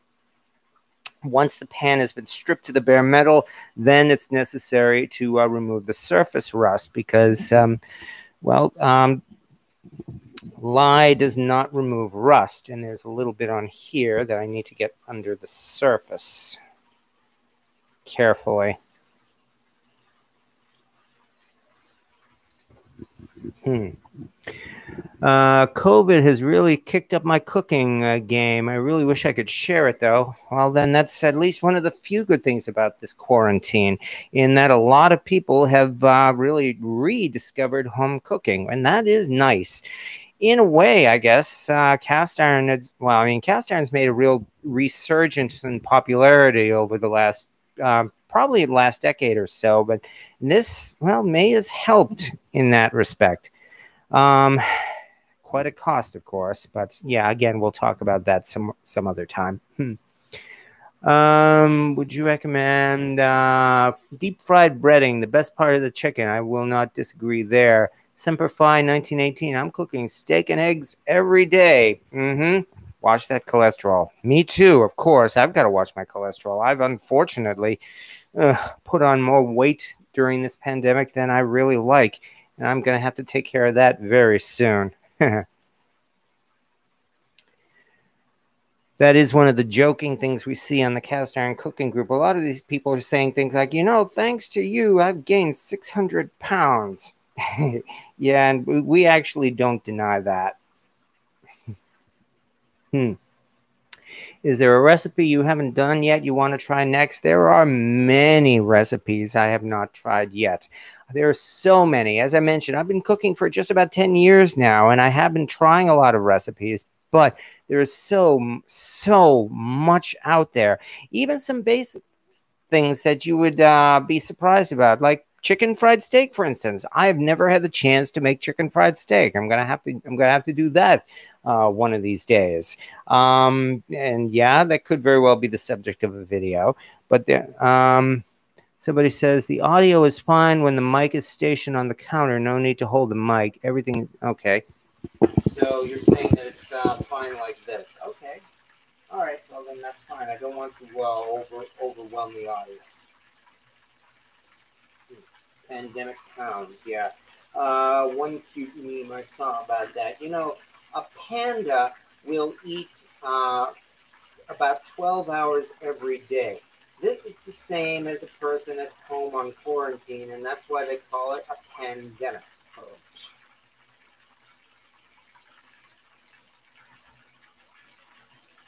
All right. Um, I've mentioned already, as I said, some, a few of the points of the uh, Church of the Subgenius, and yet, strangely enough, people have not fled this channel in droves, and I thank you for that very, very much. Um, as I mentioned, that is something that was a uh, big part of my life. Now, at, at, least if nothing else, I'm still associating with friends again. I'm very happy about that. There is a lot of literature on the Church of the Subgenius, both offline and online. As I mentioned, there's a major feature-length documentary coming out uh, in only 10 days. The official release of that is October 20th. That is just a coincidence. I'm not doing this especially because of that. I'm doing this, as I mentioned already, to celebrate October 10th. Next one of these personal ones is almost certainly going to be around uh, the early to midpoint of November. Um, I do have plans, as I mentioned already, within about two weeks or so to bring out the big 15 gallon cast iron cauldron because Halloween is coming, and that is a really good excuse to do some cauldron magic. Something I even gotten into uh, very much. I've touched it once or twice, and that's the subject of magic. But that is an entirely different subject, which I guess I'll come out at some other point. And besides, didn't didn't I say that I was proud to be a skeptic? Absolutely, and uh, I very much love the contradiction of that. Um, slap that. Oh, like, like that. No, again, thank you so much. Oh, sorry, it should still be pointed in your direction. I can't hear you. My very much. I my apologies for that, everyone.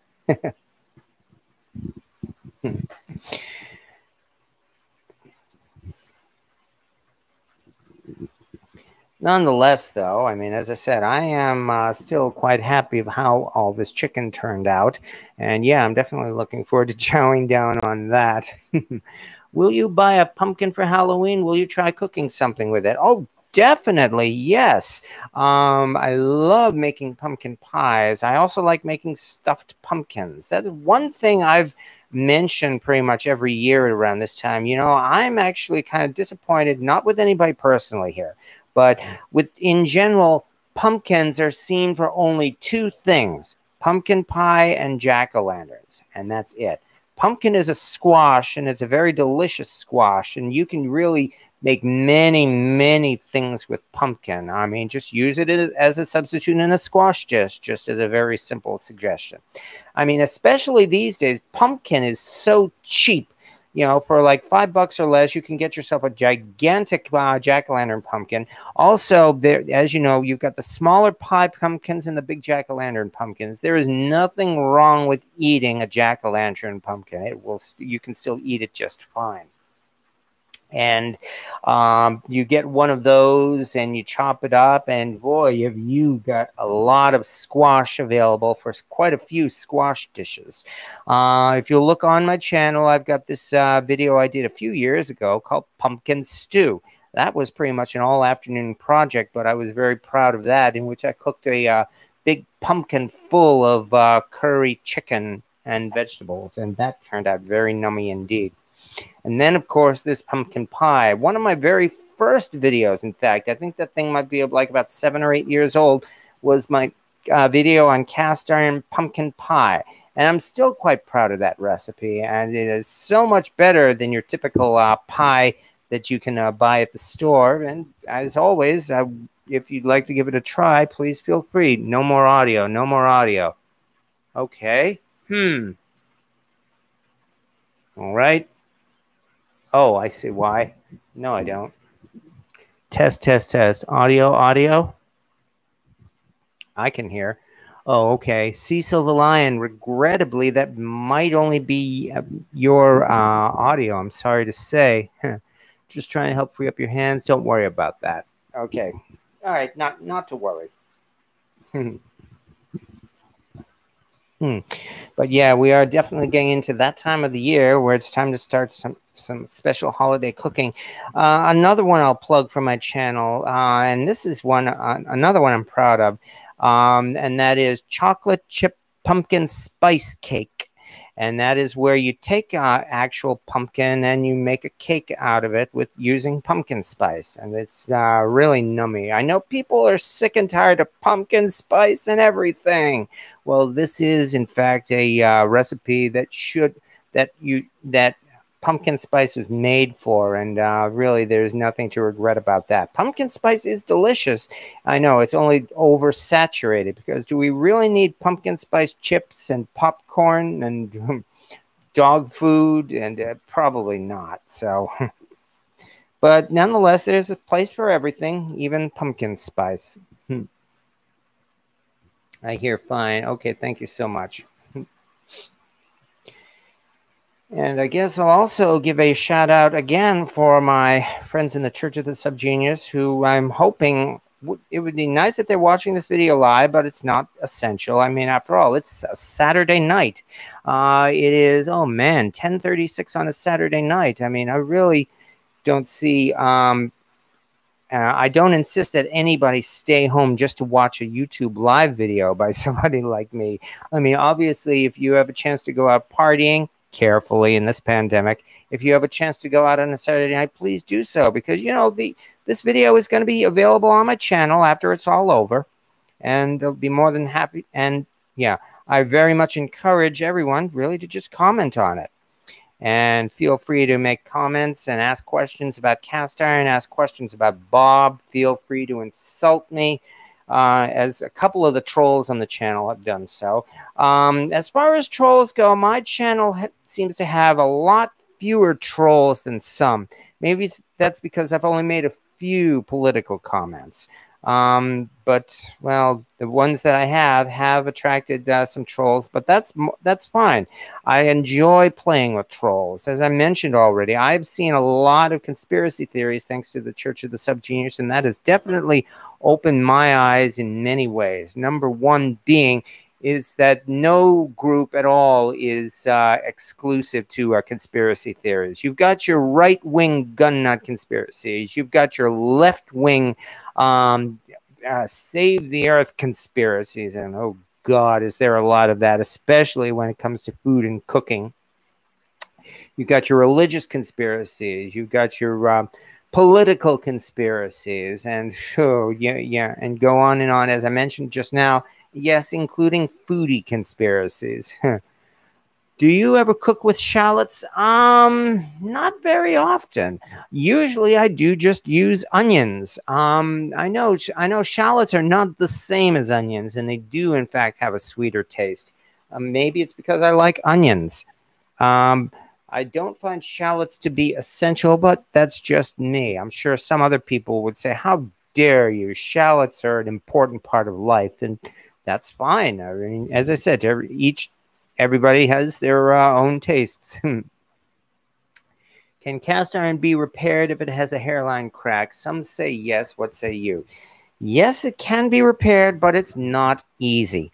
Welding cast iron and repairing it is a pretty tricky job, and a lot of welders and uh, repair shops will not do it because cast iron is so brittle and it's too and it's often they could end up just simply breaking it or damaging it even more as they try to repair it.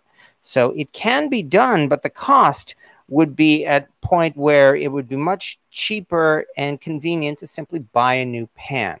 I know. What if it's a uh, prized family heirloom? Well, if you want to make the expense and have a professional weld it together, then of course, please feel free to do so. I do have two pans that I took the time to weld, both of which, or have welded, I didn't weld them, uh, both of which are uh, gate marked 19th century skillets, and both of which technically are, were considered disposable skillets. Number one is my lucky number seven, which I use for cornbread. Number two is my number nine size fancy handle pan. That one there, in fact, is the lightest and thinnest cast iron pan of that size I've ever held, and it was especially because it's so light that when I when I bought it at Brimfield, I found out it had not one but two cracks on it. I didn't want to get rid of it, and I took the time to have it uh, welded by a professional, and I do enjoy it. Uh, a hairline crack, on the other hand, is still dangerous in that it can expand when your pan is heated. So I do not recommend cooking in a pan with a hairline crack. Better to get a new pan in that case. As VLXXX says, there's no way to trust the repair, and welding cast iron is not cheap, exactly as he says. I made your apple pie you you uh, posted last week with Crown Royal apple. Turned out great. Oh well, thank you again. Thank you very very much. Yeah, that apple pie recipe is one of a number that I am proud to call my own because it's kind of like a variation on apple pie. I think I can flip this by now. Um, it's not your typical uh, apple pie recipe that you say, that you uh, see uh, everywhere else. It's a little different. The taste is a little different, but I am very uh, I'm, I like it a lot, and I'm quite proud of it. Hmm. Starting to get dark stuff on the bottom in some cases. Well, I just better be careful. And yeah, I'd say probably when this batch of chicken is done, I think we will be done. After all, we've been going here, wow, for an hour and 40 minutes. Thank you very much for everybody who has actually bothered staying all of this time. I mean, I'm, I am honestly, no kidding. I am very flattered and very grateful. It's, um, as I said, I have a lot of fun doing this, and it really, really makes me feel good to know that people are watching and I guess enjoying themselves. What are welding? No, are welding flux materials safe for cooking? Probably not. Uh, what they use usually are nickel welds to uh, repair uh, food safe cast iron. I'm not a professional. I don't know all the details, but I believe it's usually done with nickel. Do you ever bake with a small cast iron pan in a toaster oven? Oh, yes. I don't have a small toaster oven. I've got a uh, nice sized convection oven um, which was a gift from my mom. and uh, not only do I cook stuff in it, my roommate loves using that thing. So, yes, uh, cooking with a toaster oven is great, assuming you've got a pan that will fit in there, that is, because as you know, those things are, like you said, pretty small. But um, nonetheless, if you've got one that fits, go ahead and use it. If you use the right welding rod, it should be fine. Wife's made two pear pies. Turned out fantastic. Highly recommend. Oh, yeah, that's a pear pie. Oh, that sounds good. Definitely going to have to try that. I would think with a pear pie, as much as I love pears, you would probably want something for a spice in the background. Not necessarily cinnamon, because you know you don't want to overwhelm it with cinnamon and make it taste like everything else, but something to give it more of a, a touch, like maybe ginger or cardamom, for instance. We are a Saturday night. Oh, they, yeah. yeah, the kissing comes later. Thank you. I wonder if you could fill a hairline crack with gold. Well, gold is a very soft metal, and relatively speaking, it has a low melting point. I, I'm no metallurgist, but I'm sure someone would tell you that the melting point of gold is probably a, a lot less than cast iron. Um, I'm not even sure if it's safe to cook with it for that reason. Hmm. I know somebody mentioned when I mentioned no when Lodge came out with the Made in America pan and the ones that had the uh, pictures of uh, of Lincoln on it. Somebody again mentioned, well, gee, we should have one with a picture of Trump on it. Oh, good grief. And my comment then and now is that Trump would only be satisfied with a uh, skillet made of solid gold with his face on it. It would be gaudy. It would be worthless because, as I mentioned, I mean, really, I'm not even sure if you could cook with it. And if you could cook with it, it would not cook with any more than any other kind of a cast iron pan. And also, it would definitely be out of the reach of us commoners. Okay, I'll stop talking about Trump. I'll leave that for, an, for another time. Uh, if you have an email, I could send you a great recipe for pear pie that my wife makes. Oh, I'm looking forward to it. Yes. Uh, okay. Um, Trump, no. if the if the Trump crap continues, you are out of here. This is not the place for it. I'm I am gonna say something when election day comes, but not until then. Hmm. All right. Um, I have a Victor number nine and number nine Grizz slant with hairline crack. So there we go. Okay. Um, well, all I can say is my condolences to that. I mean, if you'd like, if you do have the resources to have them uh, welded, well, you can certainly give it a try, and they will likely then be able to cook for many more years. You brought it up. Yes, and it's my channel. Thank you very much. Hmm. Here's hoping Trump is goes down in a landslide on election day. So there. Praise Bob, definitely. Uh, Nof Nofkes. Okay, yeah, there's a subject I would much rather talk about, and that, of course, would be Bob. After all, Bob came about in the Reagan era, and yes, we lived through the Reagan era somehow. So uh, we are actually quite familiar with uh, political satire, and for good reason. I mean, believe me, with all of the stupid things that happens in the name of politics, I mean, it's like who. I'm, I would think as well that now would really be a good time for Bob to uh, make a comeback. Uh, let's check this. Uh, let's check this chicken before uh, things get too awkward.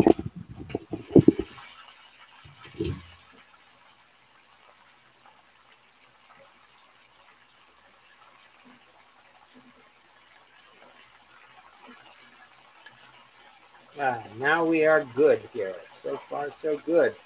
I think that means I can turn off the heat.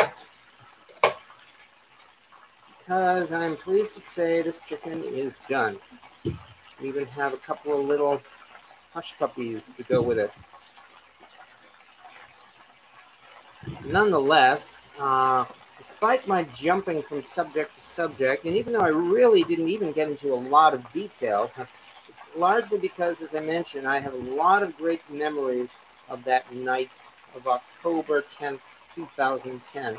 And as such, I'm very glad to uh, be able to celebrate the 10th anniversary of that uh, sacred event.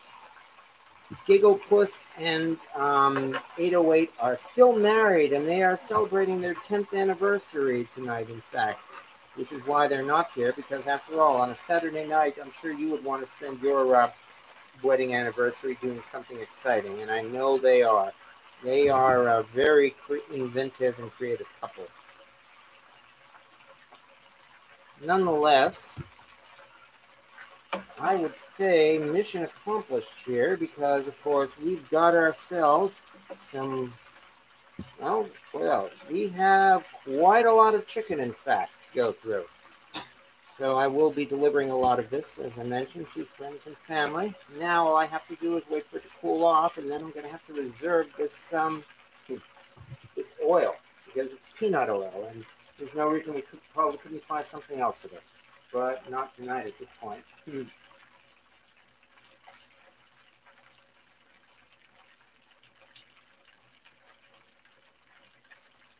Pour some honey on that chicken. Oh, well, uh, this is made with crown fried chicken spice, which is actually rather spicy. I'm not even sure if honey would go with it. It's more like a, a cayenne a pepper type of spice. Um, we all have our own opinions. You include. I, I was just peacefully stating mine. Anyway, I came to watch you cook and not talk politics. I agree there. Yes, that's why that's the end of this. In fact, this video is uh, just about to reach the end as well.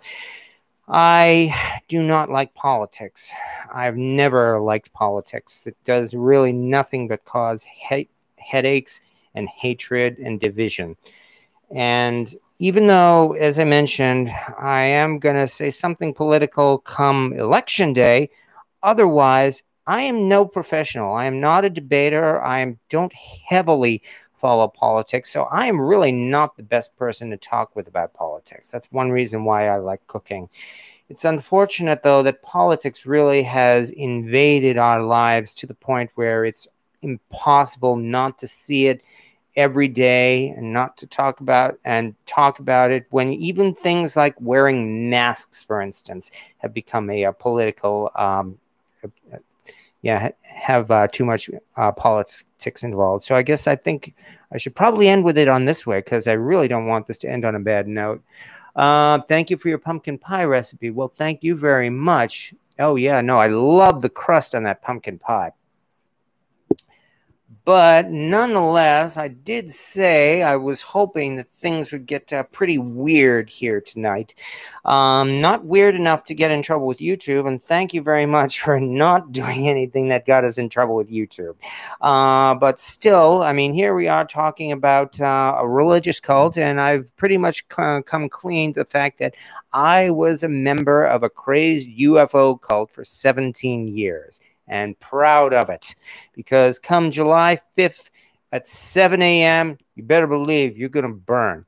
If you haven't sent your $35 to JR Bob Dobbs and, and paid for your eternal salvation, oh, yeah, how could I forget this? That's the other good thing about that. You see, we are the only religion that offers you eternal salvation or triple your money back. That is Bob's promise to you.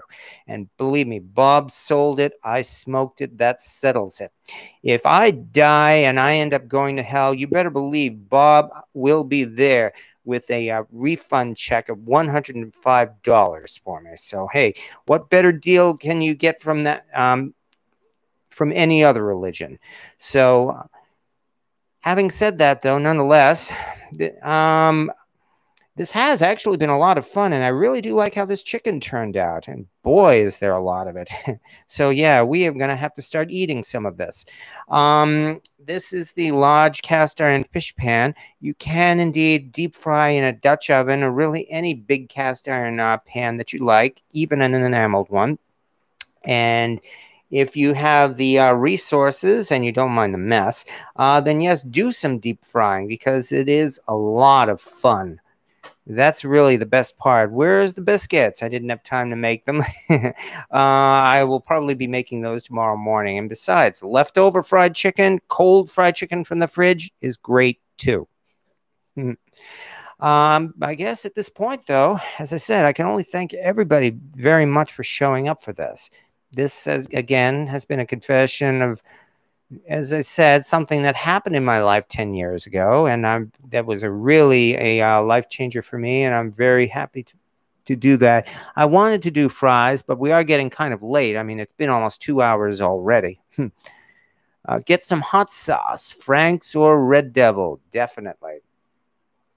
And I'm, and once again, though, I'm very grateful for everybody who showed up and actually stayed. Uh, really, yeah, seeing all of you folks here is one of the big reasons why these live uh, shows here are a lot of fun and I very much enjoy it. I'm not turning my channel into only live videos. I've done a few of them recently because, hey, they're a great way to fill time. I will admit that. But uh, also, as I said, they are easy to do and they're a lot of fun. And that's really the whole point of uh, cooking in general, uh, not just in cast iron, but in general, is that we want it to be fun. And believe me, this is a lot of fun. And I'm really glad to be doing this. To and I'm also especially glad to be doing this here for you. And thank you very much for watching, folks. Um, I guess at this point, I, all I can say now, um, do you filter and reuse your oil? Well, I don't do this often enough that I've, uh, I've done that regularly. This stuff I probably will. But we'll talk a little bit more about this in the comments because, again, we are approaching two hours here, and and uh, we've done everything that we needed to do. So, uh, thank you so much. Which do you think is worse, Jehovah One or Jehovah Two? Well, Jehovah Two is definitely an imitation of Jehovah One because Jehovah is an alien and still threatens this planet. Good job. When will we do this again? Um, well, I do plan on doing another uh, live chat next Wednesday, Cast Iron Wednesday. I've been trying to do these every Wednesday. Uh, the next one, I'm thinking the topic of that will be put a lid on it because, you know, cast iron lids are underrated, and there is a lot that can be said about that. So now I think we are all set here. I've got to clean up this mess, and we've got to eat some chicken thank you very much once again, everyone, for uh, showing up and for and I do hope you've enjoyed this. And I will uh, see you again. So, thank you, everybody, and all right, have a good evening.